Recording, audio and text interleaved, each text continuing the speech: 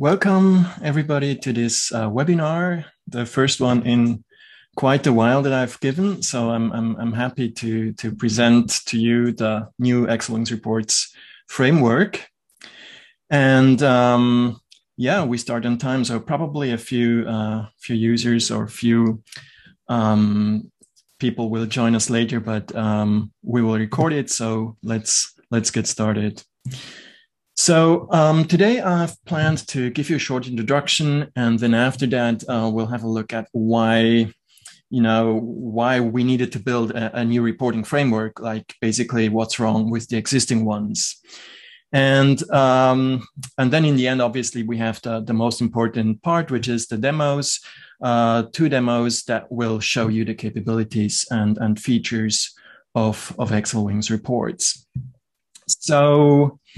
Uh, first things first, uh, just a few points on housekeeping. Uh, usually, yes, people are asking whether or not the webinar will be recorded. So yes, it definitely will be recorded. Uh, I will upload it to the xlwings YouTube channel after the after after this live session. And um, definitely, if you have signed up on on the webpage or if you're here from the uh, the, the meetup pages, then I will post the link there or send around an email with those um, with the link to the recorded video. You can ask questions anytime in, in chat. That may be the easiest option. I will get to them um, whenever I can. Most likely, I'll just wait until the very end of the, the presentation. Um, yeah, during during the, the, the course of the meetup or or the webinar, it's probably best if you mute yourself. And um, if you want to ask something in, in in in person, that's absolutely possible. So then just unmute yourself for asking the question. And then last uh, last point on this list, I'm assuming you know a bit at least around you know your way around Excel, Python, and xlwings.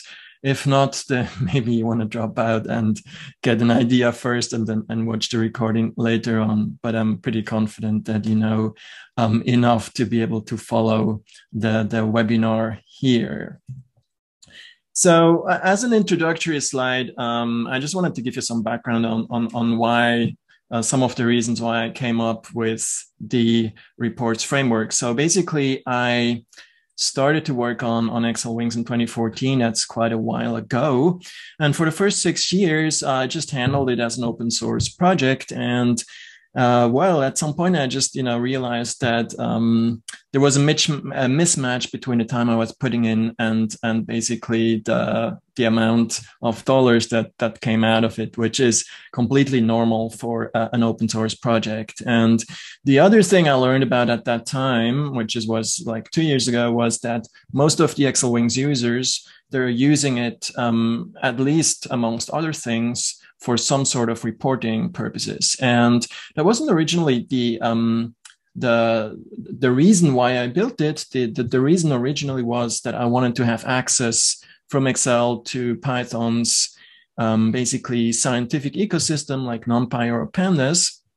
But at this point in time, uh, we made a little survey, and I got also approached by other users who wanted a better framework for reporting. And so basically, at this point, you know, I asked myself, well, either I just let it let it abandon, I abandon it. Um, you know, what happens to so many open source projects, or I find or I try to find a way to fund the, the continued de- development and and um, maintenance of the project. And so two years later, um, we're on a call here, so you can probably imagine which path I decided to take uh, two years ago.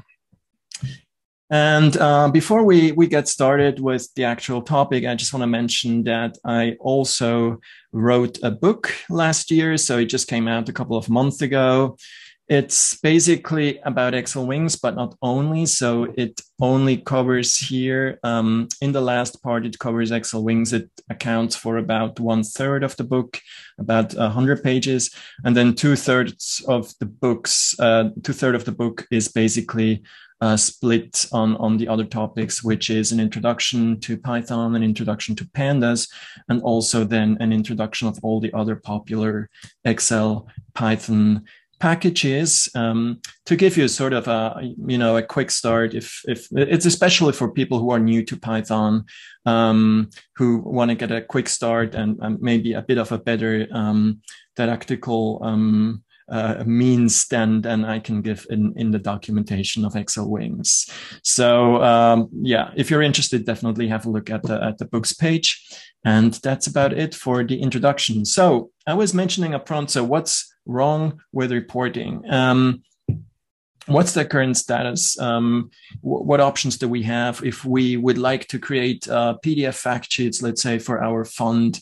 Uh, what options do we have? And so, obviously, you know, uh, the title is a bit misleading. So obviously, there is nothing nothing wrong with these um, other options as such. It's just that they have their own use cases, and often that may not overlap with producing a weekly or maybe daily or, or monthly fact sheet for your report. So, uh, a popular solution is is ReportLab. It's it's for example also used in, in Wikipedia for downloads. It's awesome if you have a web service or a, a website where you need instant instant creation of, of, of reports but there's lots of lots of code to write and that you know gets you in the corner of, of slow development and you definitely need a python developer um, to always do changes on your reports.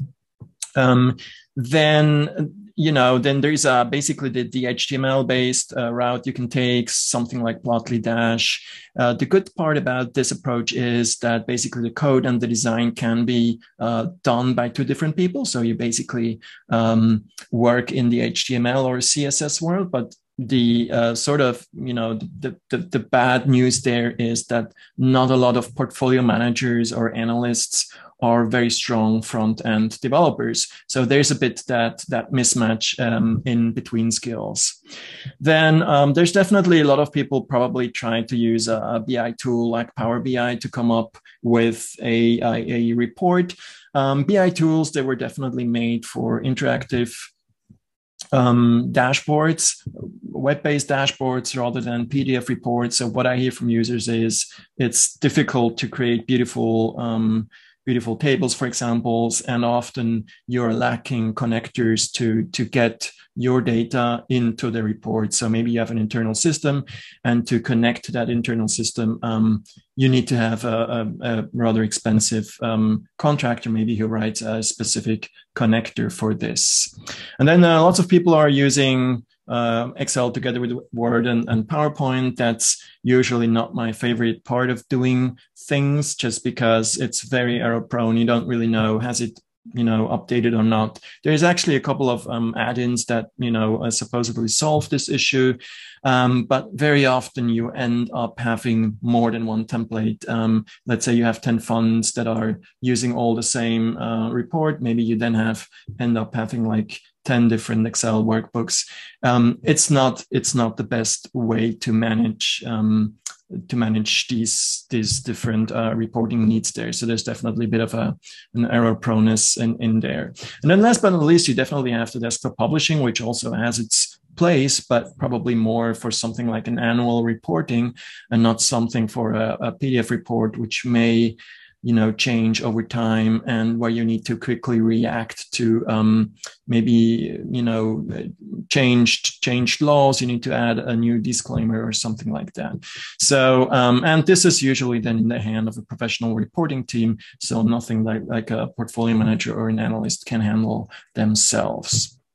But again, as a, as a summary, nothing wrong, obviously, with all these solutions. They just have a, a, a spot which may not overlap with the typical um, business user who wants to create a PDF report in an automated fashion.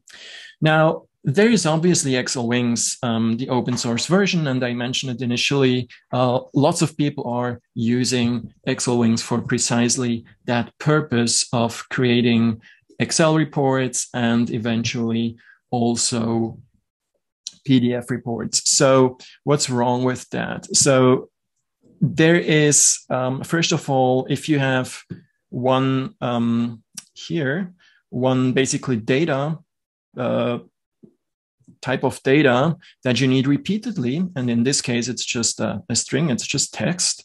Uh, you basically have to you know go through a couple of loops or you need to assign it to a couple of different different cells.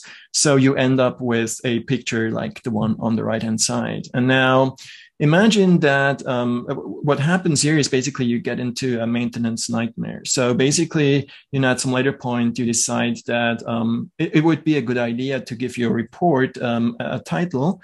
So you basically introduce insert two rows here which means that you need to go back to your uh, to your Python code and uh, just you know replace or fix all the occurrences that are below those two inserted rows. And so that means that uh, you always need to, to do changes in your Python code as soon as your Excel template changed. And that's just a, a hassle to go back and forth, especially if somebody else um, you know, maintains the template. They're always dependent on the Python developer.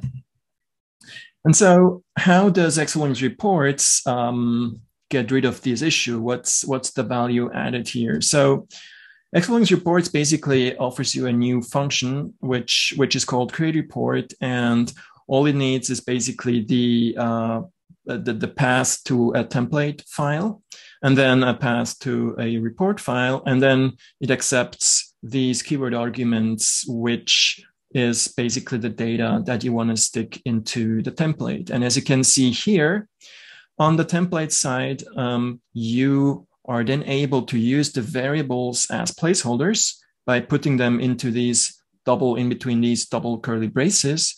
And so instead of having to like send over the um, name argument here, uh, like three times, you just send it over one time and the template user can use them as often as they want. So you don't have any loops. You just need to send over the data once. And that, you know, simplifies a lot of things already. But obviously the, the, the best part about this approach is that if you do the same operation as we've done on, on the previous slide, you insert two rows here, then nothing else has to change. So you literally just change the template and you don't have to go back to the Python code and, and bring it in line with the changes manually. Um, but you can literally just do the template changes and, and you're done. And that definitely has the advantage that um, a Python developer, you know, may set up the project for you, uh, for you, which I mean the, the end user, the business user, and you don't necessarily need to go back to the Python user for a very long time. And so basically, uh, to, to summarize what, what, what, what xlwings Reports does is it, it separates the, the two worlds. So we have here on, on the left-hand side, we have the, the Python world, the developer, the, the, the, you know, the developer who writes Python code. And then on the right-hand side, we have the, let's say, business user who may not necessarily um, know how to write Python code. And they can uh, work on the template here in Excel. They can use the placeholders. Um, they can do changes. They can apply formats without having to being dependent here on the Python developer. And then the Python developer has the advantage that they can do whatever they need to do to get a hold of the data. So often they will do database queries, they will load CSV um, files, and so on and so forth. We'll have a look at this in, in, in just a minute in, in the demo. Um, and since it is Python, you know, it, it, it just practically allows you to connect with about everything you need to. And then um, after the fact, so after the, uh, the, the, the, reports have been built, it's as easy again for the Python developer to do the pro to, to the sorry to do the post processing. And by that I mean to basically do with the the um, the, the reports whatever they need to do. So often people are sending them around in um, weekly newsletters, maybe, or um, they are uploading it to the web server from where their users can then, in the end, download those PDF fact sheets.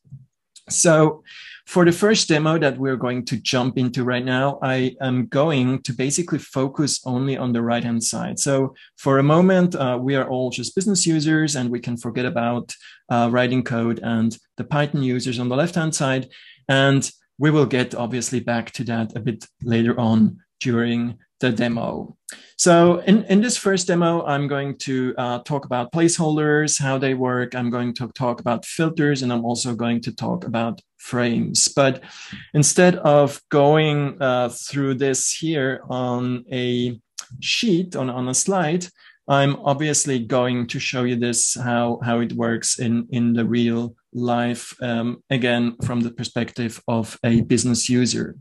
So as a business user, I know that um, you know one of the one of the data tables that I have available is called holdings, which is probably let's say the the holdings of your portfolio, and where that data comes from in the end at this you know point in time, it it doesn't really matter. For the demo here, it comes from a CSV file, but it could come from anywhere really. So this little demo here is is really just about showing you how um, these placeholders, how, how the magic here works. So I'm, I'm putting here uh, the placeholder in between double quoted braces.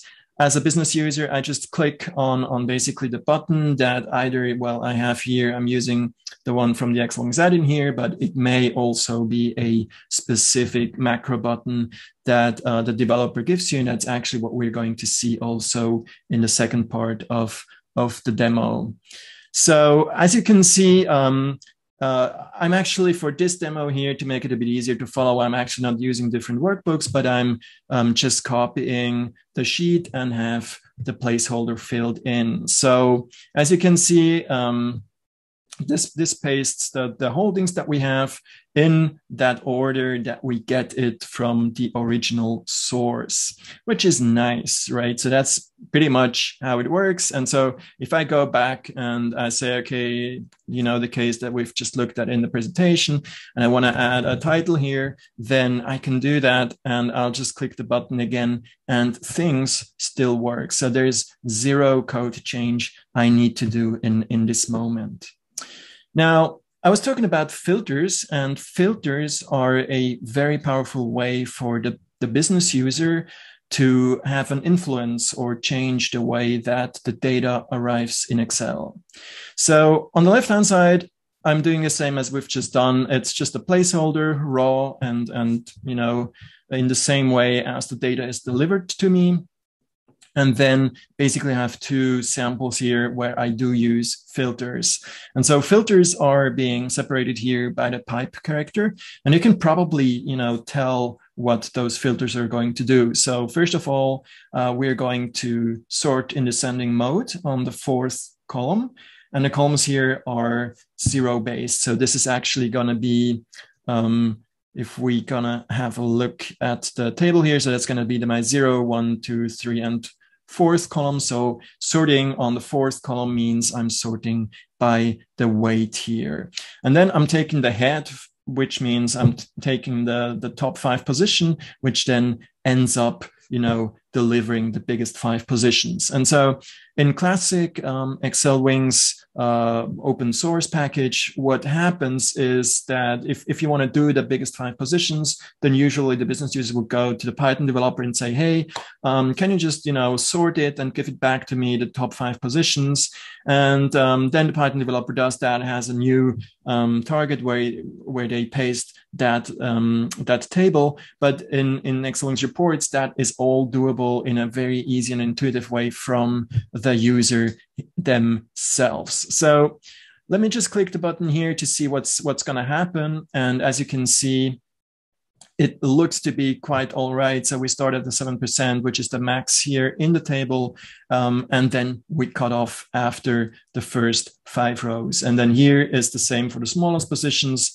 We just uh, basically took it the other way around. So we just said um, sort in ascending order. And so that's that's really easy. So like um you know even somebody completely new to to to to that how it works they can probably figure out okay if i want to uh, change this to let's say the the 10 biggest positions then i'll just do this uh, change the number and um, ready they are and they don't need to go back to the python developer for this so that's uh, generally how the filter filters work and we're going to meet uh, quite a few other filters in, in the second part of, of this demo. And so to, to conclude, basically the first part here, um, I'm going to show you how frames work, what frames are. And um, they are basically uh, a means to divide the, the layout into uh, different columns. So you often see um, that you have like a left part and a right part, like a classic two column layout. And that's what we are essentially going to do here. So first of all, frames are defined by inserting a comment, um, a note here with the frame marker. And then they just, you know, um, go on until they hit the next frame marker, which is here. So in this case, we're just um, dividing the uh, uh, the report into two vertical columns, which is this one and that one. And then basically within frames, we have a dynamic allocation of the uh, basically of the space. So instead of you know having to know how long uh, the holdings table will be, we can just use, for example, um, I'm using the table tables here. So I can use tables to, to format my table and Excel tables. Yeah. And um, this basically just requires me to, to have the, the header formatted and also here a row of the table. And I can use these banded rows, as we can see in a second. This will be very um, helpful. And then what xlwings within the frames will do is it will expand these tables and move them downwards or move the, you know, the, the content which comes below the table, move them down for as much as, as it needs to be. And also make sure that the table gets formatted um, for as many rows as you have. So yeah, let's just see how this reacts when I click the button here. And as you can see, uh, we do have uh, uh, three perfectly uh, formatted tables. So uh, they they stop at the last row of, of the table. They have these banded rows, which are just um, making things very easy to read on paper. And as you can see here, um, well, the, the, the text is moved down below this table, but this doesn't impact um, the basically the the you know the um, the splitting of the real estate here on on the right hand side. So this is like how you can independently have um, dynamic tables align in a multi column layout. And I mean, that is pretty much already it, like the very basic components of how xlwings reports of, of how the framework works. And as I said previously, I mean, this is like through the lenses of, of a business user. Um, they really just need to know what, you know, what, what's the data called, and then they can start off and design their tables and have powerful filters to um, influence the, the behavior or the appearance of the data they want to present without having to write Python code.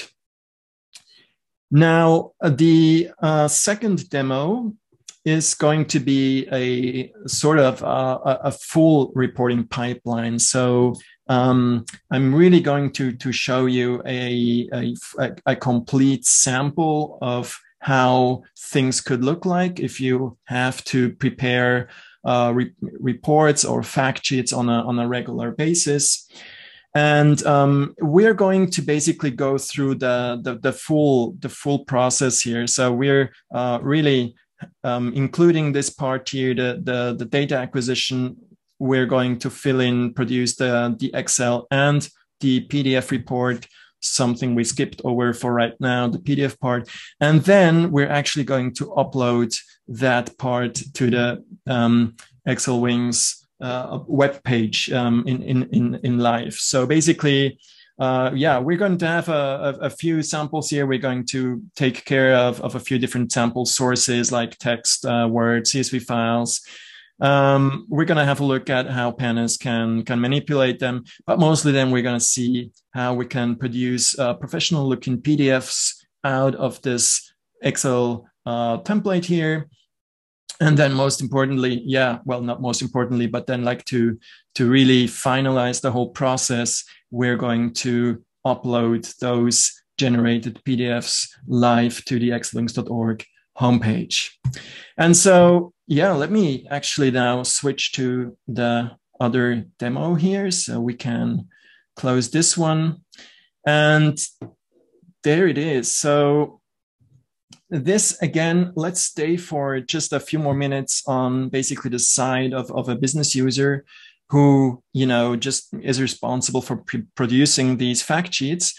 And we're going to take care of understanding, you know, what happened in the background after basically the show. And we, we can look a bit at the code. We can look a bit at the different components that are involved and how, um, you know, what's, what's really happening behind the scenes. But for now, let's just have a look at this little application here. It's, it's a classic, again, a classic xlwings application. We have the famous run button. There's not much more on, on, on this application than that. We have a few um, settings down here. So this tells me, yeah, I want to I have three sample funds that I'm going to produce. Uh, I want to create all of them and uh, yeah, open the PDF for me so I can you know instantly look at if if they um, if they look good, and then also at the same time upload the PDF to my web server. So yeah, let's see how it goes. So um, clicking the run button will start the whole process. So you can follow here. It's now behind the scenes, basically in a hidden Excel instance. It's filling in the template. Now it's uh, generating the PDF out of it. And you can see the PDF here coming up um, on the right hand side. And, and meanwhile, it, it moves on. It uses the same template and fills in uh, my fund B here. And um, then uploads the font B in the end to uh, to the web page. And meanwhile, it's it's doing the third one. Um, so we do have the third one here, uh, which has been created and also uploaded to, to the web page. And so just to, to show you where that is on the web page, um, you can basically follow along. So if everything went fine, you just go to xlwings.org, you go to the reporting tab, and then um, you can download here one of these funds. And as we can see here, um, that should probably have today's date. And then down here, um, we have the timestamp that we've just run. So as you can see here, it's 27 now. So that was from a minute ago. And you can do the same on your side. So this is really um, has been uploaded by the tool to the live web page of of xlwings.org and and that's just like how the you know the full cycle comes together and uh, yeah, so at this point, I guess it makes sense to have a, a quick look at, at, at this PDF report and then sort of break down a little the, the different sections and, and explain a little bit better um, what happens uh, behind the scenes. And so for that, I'll go and um, make the PDF reports maybe a little bit bigger. So to basically start at the end result, so right here, so I'm going to uh, switch between these two reports and you can already see that basically they are completely the same. They use the same header and, and footer here. It's just fund A and fund B. They have different data. So one starts in 2018, one starts in 2016 for the um, for the historical performance here. And then again, we have these dynamic features here. So you can see what I previously demonstrated, we have these two frames. So we have a, a frame here on the left, uh, which is just text. And then we have a frame here on the right, which allows you to have these dynamic tables. Um, as you can see, accordingly, the uh, chart which follows below the table is, um, well, uh, is is uh, switch uh, is is um, shifted up or down depending on how many rows that table has. And then you can probably also see that um, the, the, the, QR code is, is dynamic. So the QR code basically um, points to a specific uh, fund, uh, to a fund specific URL. And um, because it's Python, that's also just as easy to do because there is obviously a package that creates these um, QR codes for you. So you can easily um, introduce these QR codes in, in, in, in, the, in the report. And so, uh, yeah, so that's sort of like the the big level, the high level picture of of what happens or what you can do on these uh, reports. Now, obviously, very very interesting is probably how like what what's involved, how does it look behind the scenes, and so it's probably best here to to start in the folder here and, and see what files we do have. So um, basically we have the reports folder and the reports folder is where all the PDFs ended up with. And also we have the XLSX folder. So in the XLS fo XLSX folder, we do, we do have the reports in the original Excel layout. So basically as you can see, this is uh, how they look. What they are missing is the header here, uh, or maybe the footer here on, on the second page, the, you know, the logo. Um, I will explain in, in just a minute uh, how this is done. But for now, this is just basically explaining or showing you what's inside the different folders. So reports is basically the output. That's what we are producing by clicking um, on the left-hand side on, on the run button. Now, how do we get there? Obviously, uh, a very, the, the most central role is lies in, in the template file. And the template file is nothing else than basically what we have gone through before, like in the, you know, introductory demos. So I have for each page of the report, I do have placeholders on my file. So for example, uh, here I do have the fund name, which will be provided by the Python code. And I also do apply, I mean, you, you will see like throughout the template here, we have a couple of more filters that we use. For example, here, I just use the font color uh, filter to turn it into a white color. Um, I could also use alternatively, you know, Excel's capabilities of just painting it white. Uh, the issue there is simply that then it sort of disappears on screen. So it makes it very hard to, to maintain. So there's a couple of these, um, well, filters that can make your life easier. Um, as you can see here, for example, I'm using a variable called as of date. That's just basically the current timestamp delivered by Python. And then I can use the date time filter, which will format things in the way that, that we have seen, which, which is in, in basically the date um, format. Let me just, uh, for, you know, purposes of, of, of comparing things, let me just open this on the, on the right hand side. So you can see here the August 12, comma 2021. That's like the default formatting if you go for the datetime filter. But then below, and probably I should make this a little bit bigger. So below we have the as of date, as you can see with the um, slashes formatted. So month, day, and um, two digit year. And again, the nice thing about using here the um, the reports framework means that we can just uh, reuse. Okay, that was a bit too much. Uh, we can just reuse those placeholders. So I don't need to tell the Python developer to give me, you know, uh, for each version of, of a date formatting, uh, three different date strings. I can just tell them, give me the current date and uh, the way that i want to format them is up to me. So i can just use the date formatting rules here and um, you know be my own boss of, of how i want to have things formatted. Then on the left hand side is the uh, basically the placeholder for the introduction uh, for the text that you can see. Let me just see here. Um, basically the, the text here that you see on the left hand side.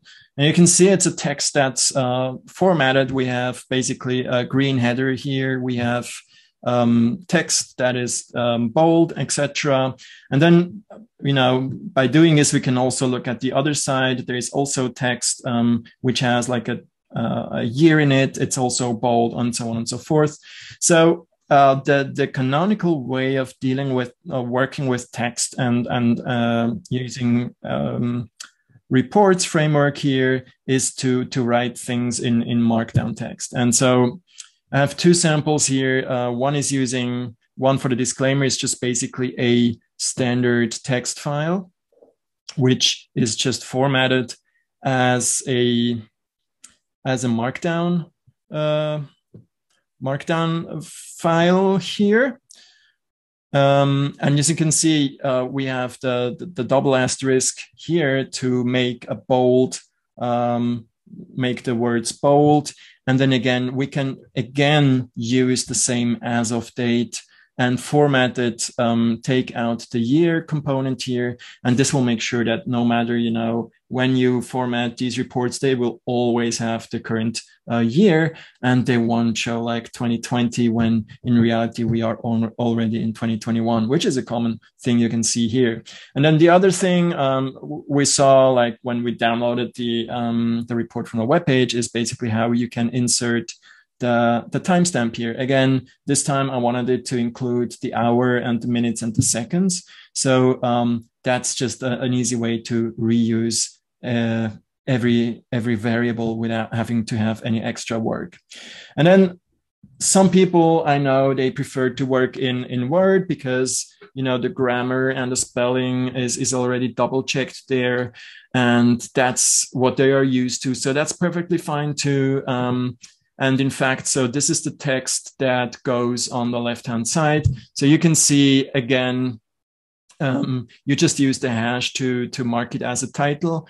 And then basically the corporate layout, as you define it in your, in your Python code, then makes it turn into a, um, into a, a green header as, as we previously saw on, on these um, on the reports here.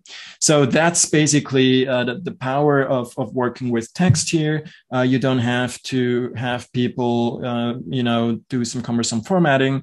Um, you can really just have them use Markdown and then xlwings takes care of formatting that Markdown properly. Uh, let me see. So that's that's that's pretty much uh, most of the, the, the the important things here. So uh, the, the demo here works in such a way that the font specific data is taken here from CSV files. So if you would add another folder here with CSV files, then that um, demo app would produce another report. So instead of three reports, then it would um, uh, produce a fourth report. And that's also um, obviously pretty powerful because again, you only need to set up things one time and you can set it up, you know, in whatever you have all the flexibility. It's just Python code. You can set it up in whatever works for you. And then um, you can have your users, for example, on their own um, add additional additional funds. So this is this is pretty much high level how how how it works. And um, okay, so I see there's a question, but it says for the end, so I'm gonna leave this right there. All right, so um, yeah, that's that's pretty much how how it works from an end user's perspective, business user's perspective. Uh, the other side of things, which is uh, the 90 lines of Python code that I wrote, uh, I don't want to spend too much time on it because uh, you have the, the link to the to the repository and maybe I can just um, maybe I can just paste it in the in the chat just to make sure that you can look at it. Right so there it is. Um, so you can always go through the code online at your own pace and it's documented. It, it has an extensive README there, but still uh, very quickly we can scroll through it. So basically, you know, the function that's being called from Excel is mostly just calling the pre-process function, the, the reporting function and the post-process function. That's pretty much it. Um, the pre-process is usually probably going to be the, the most extensive one. Uh, we have different sections here. We have the acquisition of or the loading of the CSV files with pandas. We have the loading of the Word file using Python docx. We have um, just uh, the read method here for text files to read the, the native uh, markdown file. Then we do some, you know, some pandas magic to get to get the total performance and we can use it in in the introductory text on the left hand side so that's pretty much just a little little show here to you know to give you a feeling of of what what happens typically in in these pre-processing um, functions. Um, this here is is also three lines of code to create your own like sort of uh, branded qr code. And then yeah basically you just give back these these these um, these variables. That's the that's the data that we're sending to the excel template.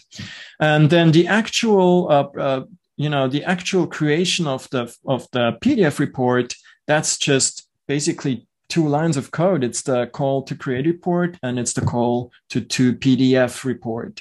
And at this point, um, I can also, um, you know, um, basically unveil the secret that causes the, the PDF report to have these pixel perfect headers and footers. And this comes basically here in the to PDF call, which allows you to select an existing PDF to print on. So print between quotes, but it's it's essentially what happens. So when we go back here to the um, to the directory of, of, of the demo, then you will see that I have a PDF file, which is called layout. And that's literally just an empty uh, corporate layout style PDF um, you know that you can probably get from your um, design department. And this is literally where the excel workbook or the, the content from the excel template is going to be printed on. And there's a couple of um, uh, you know advantages you have by doing this approach. So you can easily have different layouts for each different page or you can have the same layout for for the whole per, uh, for the whole uh, report and um, if it's professional designed, um, which I would assume if it comes from your corporate um, design department, then these will also cause your your PDF report to be very tiny in size because PDF, you know, can reuse content. So like if you have the same logos and pictures on on, on every page, then um, if you would just add them to each of your um, Excel templates, then that would sum up uh, very much in space. Whereas here you can keep um, these reports really, really, really um, lean. So that's like how you end up having these uh, pixel perfect uh, reports that are otherwise pretty much impossible to do with Excel alone. That is because Excel um, scales often, you know, the output and then doesn't manage to print borderless on those pages.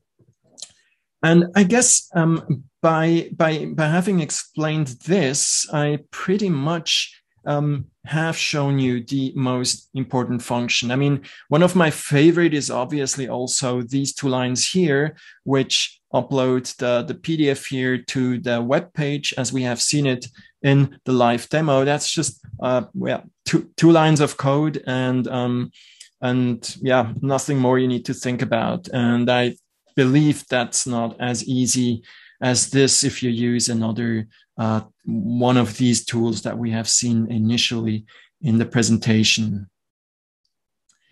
Um, and so before I get to, to the few questions that I see in the chat, um, I want to go through a couple of last slides uh, just to make sure that everybody, um, you know, is on the same page in, in, in the way to understand like how everything works. And so one important comment here I would like to make is that what I've just shown you, basically that um, that that Excel app where I was clicking that that green button, that's just one of many options we have to um, to to to invoke or to run this this full pipeline. It's just well, I'm just most familiar with that uh, framework, so for me that was easy to build an easy uh, user interface, but it's really just Python code, right? So uh, you can, for example, if if your users are Jupyter Notebook fans, they use it up and down every day. They feel that's the thing they feel most comfortable with. You can obviously give them a Jupyter Notebook that they can run, and it'll produce the same uh, reports. Another option, probably, uh, I would I, would expect like a, um, an important option is, is, is just have a native Python script or build a, a, command line interface. And this will allow you to run things on a scheduler. So you don't need to go in and, and start the Excel and click the run button. You just schedule things on a weekly basis. You schedule things on a nightly basis and it'll pull the data from your, you know, uh, live database and just uploads it as you saw automatically again to your server or sends out an email or whatever you want to do with the report. Um, that's definitely an, an important um, thing here. And then obviously you can also build a, a user interface using, you know, PyQt or some other uh, framework for that, or even um, use a web-based uh, a web-based dashboard. You could use Plotly Dash to have the run button and, and, and create reports for you. Uh, you can even uh, run things on a server, but importantly, it would have to be a Windows-based server where Excel is installed. So that's um, completely possible. It's definitely not the right thing to do if you have hundreds of users who you know get to the homepage and want to have things create in in real time. So that would put us more into a ReportLab corner. But if you have you know reports that are generated once every hour on an irregular basis, then that's completely fine to do. And so, yeah, we're getting to the end of this presentation, um, and I just wanted to go through the the the sort of cornerstones of the of the report framework again. And um, yeah, most importantly, it's about uh, separation of concerns. You can have a Python developer and they do the initial setup. And then from there on, the report designer who, who probably is a business user has and, you know, can do a lot of things on their own.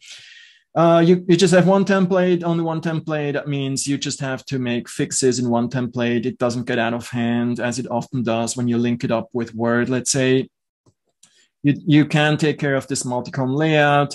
Uh, we have an easy way to do apply formatting, something that's also cumbersome if you just you know work with Excel alone. And then we've seen um, a few times uh, the ability to just um, throw in your data frames into Excel as an Excel table.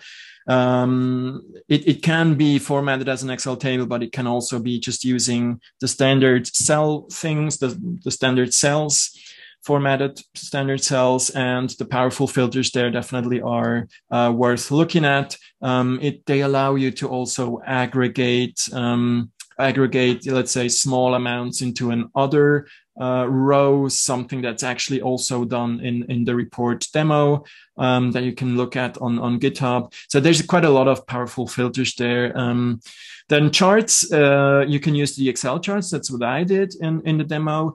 But uh, some people, they also prefer to use with, you know, work with Python based charts such as Matplotlib and Plotly. That's also completely possible. You can add them as a vector based graphics on your report. Um, and then finally, yeah, uh, probably also very, very strong feature is, is the, the print on, on PDF option there that guarantees a pixel perfect appearance and and you know just makes sure that uh, the report doesn't look like it comes from excel. So this gets me sort of back to the um, to the beginning of the of, of the talk where i mentioned that i was looking for a way to fund the xlwings project and um, well coming from an open source background i tried to look for a pricing model that that you know seems fair to me and hopefully also to the users. Um, so what that means is basically that for below for below for less than a hundred dollars a month um, you can basically have your whole company run on xlwings reports. And uh, the way that this this this works is it's a developer license. So only people who basically write python code they need a license and you can deploy it to basically your end users for free. And even though it's a subscription, once a subscription expires, you can still continue to use the tool. You just get no support and upgrades um, thereafter. Um, and for more details, um, I have to link here on the homepage. You can also just surf there. There's a in the nav bar you find the respective item.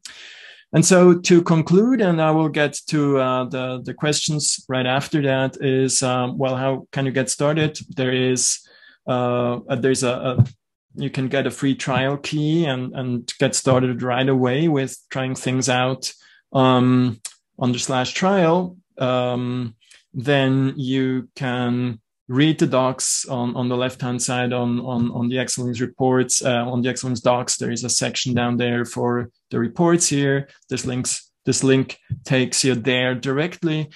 And then finally, if you want to, you know, continue, like if you have um, issues or if you have like uh, personal questions that you want to take care of, um, you can also go to my link here um, and book some time with me. And again, I allow to myself to just um, paste this in in the chat and uh, feel free to continue the conversation there with me. So from my end, that was it. Um, last but not least, you know, always happy to connect on LinkedIn. Uh, again, feel free to to reach out there. And um, at this point now, I am going to read through the questions and see um, if I can answer them.